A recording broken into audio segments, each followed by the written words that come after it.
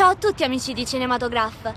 Scusatemi ma sono ancora leggermente emozionata perché sono appena uscita dall'anteprima del film La La Land e è un ballo, questo, questo, film è un ballo che ti trasporta nel cielo insieme alle stelle e questo ballo è guidato da due protagonisti sensibili, genuini, fantastici e che sono Ryan Gosling ed Emma Stone. Un film, eh, un film premiato con 7 Golden Globe su 7 nomination quest'anno e Damien Chazelle è riuscito a mm, portare un musical al cinema che sicuramente richiamerà tantissimo pubblico.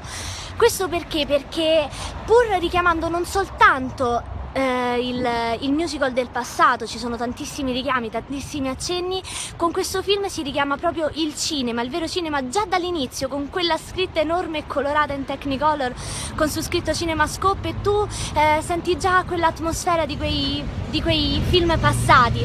Ma la capacità di, del regista è stata quella di eh, rendere in chiave contemporanea questo musical, La La Land, e, e far così sentire un'emozione, un, um, un, sentimento attuale, contemporaneo, pur richiamando ecco, queste atmosfere che da sempre hanno emozionato e hanno eh, riempito il cuore di tantissimi spettatori, perché ricordiamo che nel tempo eh, sono stati soprattutto il musical e soprattutto i western a chiamare tantissimo pubblico nel cinema e quindi eh, anche questa volta penso che questo film riuscirà a chiamare una gran fetta di, di pubblico.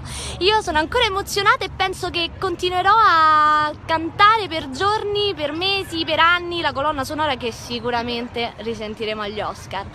E questo è il mio febbricitante commento, vorrei ballare il tip tap, ho sempre sognato di ballare il tip tap, a dire la verità, e forse dopo questo film inizierò chissà, forse anche voi. Comunque restate su Cinematograph per recensioni e articoli e noi ci vediamo alla prossima diretta. Ciao!